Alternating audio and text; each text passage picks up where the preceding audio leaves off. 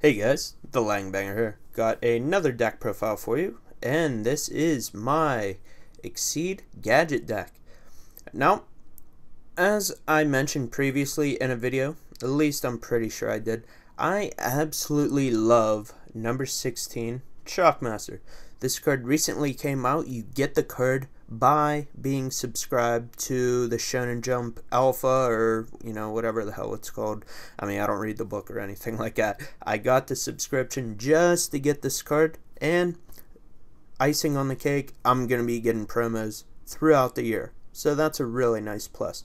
But it was easily worth my money because it's a rank 4 light fairy you need three level 4 monsters. Once per turn, you can detach one Exceed material from this card to declare a card type, monster, spell, or trap.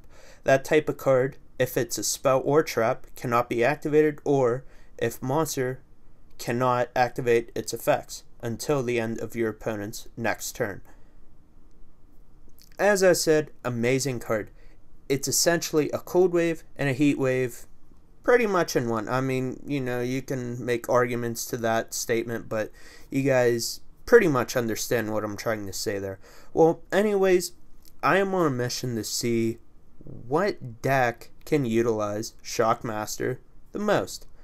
How is the easiest way to summon it? Well, I did post a Gladiator Beast build, and it was based on Prismas and Hero Lives, and of course you're using Tigers. That's a neat idea. But let's see how this one goes. I'm probably like three minutes into the video. I like to talk. Sorry! But, anyways, onto the deck itself. You have three Valor, two Green Gadget, two Guaiba, one Velo, three Thrasher, two Red, two Yellow. That's the monster lineup.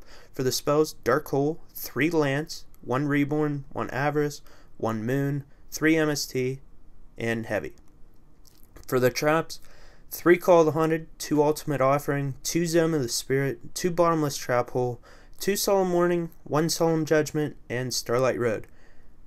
As you can see with my build, I really want to bring out Shockmaster, but what's cool with some of the choices I'm using, if I can't go in the Shockmaster, it's not the end of the world. And the reason being, I have access to Dinosaur Seeds, Laggia, and Dolkka via my Guaibas. That's sweet because those cards can also lock your opponent down. See, what's cool, Shockmaster is Laggia and Dolkka essentially in the one. Can negate whatever you want. But, you know, let's say you can't go in the Shockmaster. Now you have the option, Laggia or Dolkka. Which one do you want? You know, they all have their ups and downs. Depends on what you play against. So, you know, you'll just have to see what to make for each scenario. But, um, you know, outside of the dinosaurs, you can just do a normal Exceed summon, going in the Utopia, going in the Roach. There's so many monsters out there that need, you know, three materials to make a uh, Exceed. Um, I mean, I'm just using Shockmaster, but there's also that Illuminate, and then there's another one, I forget the name of it, but, you know, to sum it up, want to make exceeds, you're going to make things hard on your opponent.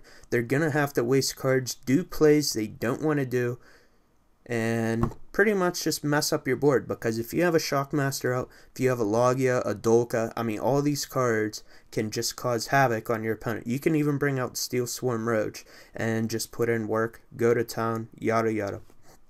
It's also cool that we have Gem Knight Pearl. That is a rank 4 2600 attack. So right there, that can get over a lot of stuff. Laggia, Dolkka, Stardust, if anyone uses that anymore. I wish people did slash do, but you know, what can you do? But uh, enough of me talking. Um, for the more competitive people out there, you guys probably won't want to use Zone of the Spirits. I'll be completely honest with you. That was just more so of a, you know, fun touch because like I said, I don't know how many times I've said it now. Leave comments down below on how many times I talked about Shockmaster. But I want to get that fucker out, and it's going to win me the duel, especially if I can put some protection behind it. So let me know what you guys think of the deck. Let me know if I should do duels with this deck by thumbs upping the video and favoriting it. Thank you for watching, and hey, have a good day.